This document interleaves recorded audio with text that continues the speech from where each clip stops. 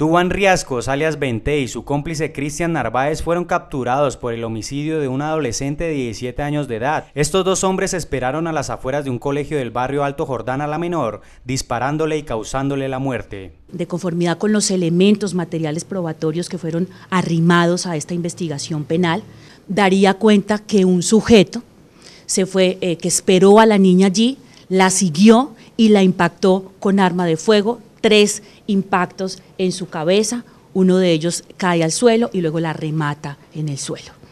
Este sujeto fue eh, identificado como el presunto autor de estos hechos, eh, identificado como alias 20, es una de las personas judicializadas.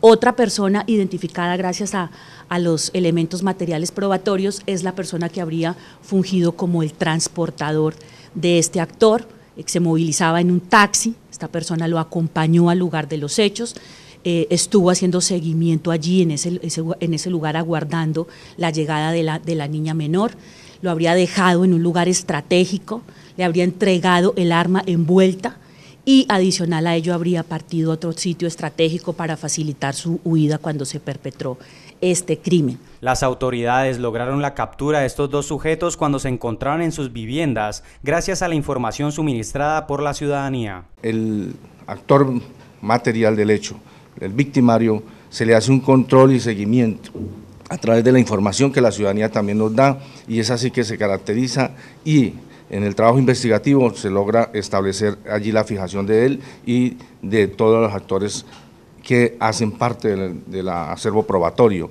Se capturan en las horas de la madrugada en un allanamiento en el lugar donde viven.